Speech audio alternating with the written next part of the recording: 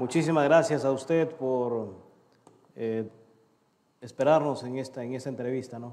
Bien, vamos a desarrollar, entonces vamos a conversar. Eh, Celica cuenta ya con todo lo que, lo que pedía la, la ley, lo que se obligaba a los GAT a cumplir con, con, con todos los requisitos para que puedan realizar este, eh, verificación de, de, de, los vehículos, matriculación, revisión. Están cumpliendo con, con todos los, estándares que, que, se exige en este caso, estimado eh, director. Así es, efectivamente, estimado licenciado, en cumplimiento a la normativa que establece la Agencia Nacional de Tránsito, eh, el GATSELICA ya tiene implementado el Centro de Revisión Técnica Vehicular, en lo cual nos permite brindar el servicio de la revisión técnica a los vehículos de todos los años de manera en general, de lo que es vehículos livianos por el momento, de lo, desde motocicletas hasta camiones con un solo eje y una sola llanta en la parte posterior. Eh, este, Dios mediante, para el nuevo año ya tendríamos ya un centro de revisión técnica vehicular ya de manera universal, de manera general para vehículos desde livianos hasta vehículos pesados. Eso estimado y en sí nosotros ya estamos operando. Desde el 20 de mayo estamos brindando el servicio de revisión técnica vehicular a toda la ciudadanía del Cantón Celica y, como no, también a la ciudadanía de los cantones, de cantones aledaños eh, con toda confianza, cualquier cosa, y yo estoy a las órdenes para servirles. Con toda confianza, ah, pueden tener mi número telefónico, les dejo a la digna ciudadanía del Cantón Zapotillo, pueden llamarme para cualquier consulta, cualquier pregunta, al número al 099 5 351 246.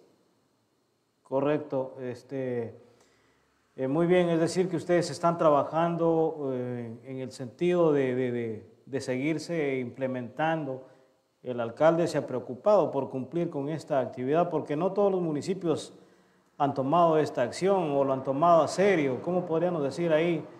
Y qué bueno que Celica haya tomado esa iniciativa, haya tomado la posta para poder este, acudir de manera más cercana eh, no ha habido una información amplia, este, estimado ingeniero, pero a buena hora que usted lo comenta, porque hay gente, yo conozco que se va a Machala, que se va a Loja, pero estamos aquí cerca y ustedes eh, dan cumplimiento con eso, eh, el aval, dan el aval para que se pueda entonces hacer una revisión, una matriculación y no se haga tanto gasto. Yo creo que nos parece muy bueno de que la ciudadanía zapotillana y también de los demás cantones cercanos, no sé si Pindal también cuente con, con, esa, con ese servicio, pero se hablaba de que los municipios pequeños no tenían la capacidad para poderse endeudar en esto, este, estimado ingeniero.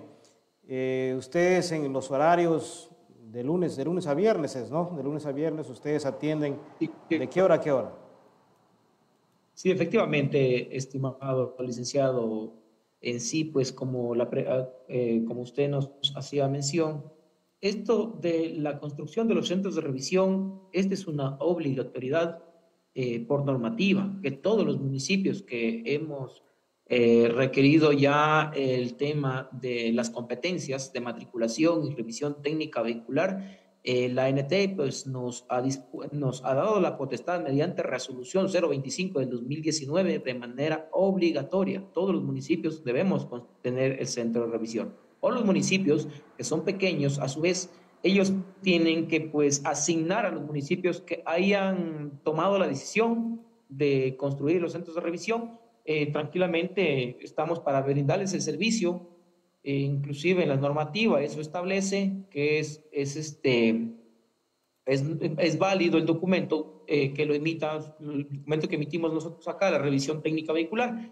En sí, pues, eh, como le decía al principio, el GATSELICA tiene las puertas abiertas ya prestando el servicio para la revisión técnica vehicular para todo lo que es la, los cantones aledaños de aquí, de nuestro cantón de la, eh, de la provincia de Loja.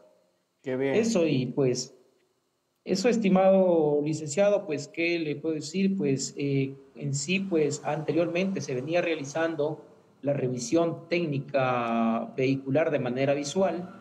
En sí, en el año 2023 ya llegó en, febrero, si bien, si mal no recuerdo, en el mes de febrero ya llegó un comunicado de la Agencia Nacional de Tránsito que estaba ya prohibido realizar la revisión visual eh, únicamente pues los que estaban para revisión visual eran los vehículos que estaban adquiridos un, que eran adquiridos un año antes de, del año presente. En este caso, pues en, ahorita, en la actualidad, lo único que está exento de revisión técnica vehicular son los vehículos del año 2023. Y el resto de manera obligatoria tienen que pasar la revisión técnica vehicular. Caso contrario, pues no podrían realizar el segundo proceso que es la matriculación vehicular, porque en sí, ojo ciudadanía, son dos procesos. El primer proceso es realizar la revisión técnica vehicular y el segundo proceso se termina con la matriculación vehicular. Ahí es cuando ya se registra el trámite legal ya en la plataforma de la Agencia Nacional de Tránsito. ¿Qué pasa con los vehículos que no logran pasar esta revisión técnica? es decir, los vehículos que ya están eh, pidiendo cambio, ¿qué, ¿qué, pasa ahí? ¿Se les da otra oportunidad o es obligatorio que vayan a cambiar? Más bien, eso, eso, eso queremos poner en conocimiento de la ciudadanía, que no tengan miedo. Hay mucha gente que conversado conmigo, inclusive vea, dice, oiga, tengo miedo a pasar la revisión técnica vehicular.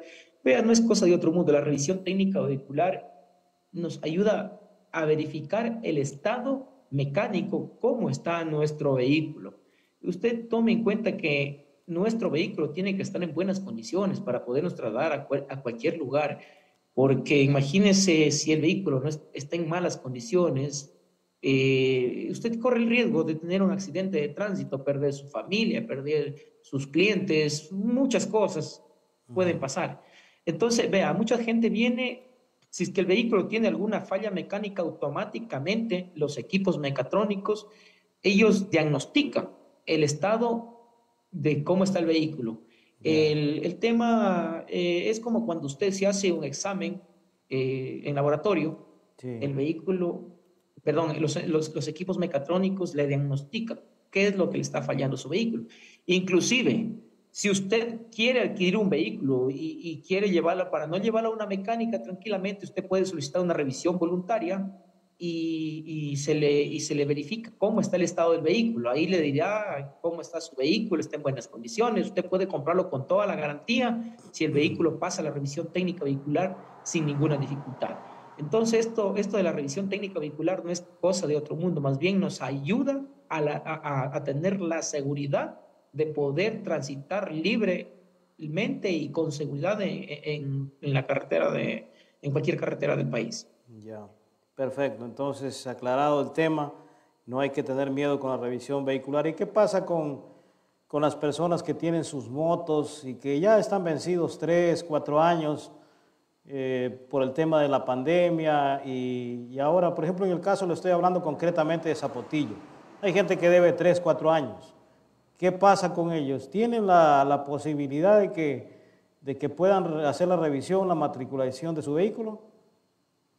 Estimado licenciado, verá, justamente en el año 2023 salió una resolución a, los, a las motocicletas que, o vehículo, cualquier vehículo que no haya matriculado durante los tres años consecutivos, automáticamente la Agencia Nacional de Tránsito, por oficio, eh, está bloqueando esos vehículos, en lo cual, si el usuario quiere realizar la matriculación de sus vehículos, Obviamente se tiene que realizar el debido proceso, acercarse en cualquier unidad de, matriculación, sea en Zapotillo, lo pueden hacer en Zapotillo, que está habilitado, o bien lo pueden hacer donde ellos deseen, acá en y de ahí pues se coordinará con la Dirección Provincial de la Agencia Nacional de Tránsito solicitando el desbloqueo, porque a partir de los tres años consecutivos que usted no matricule su vehículo, automáticamente lo bloquea.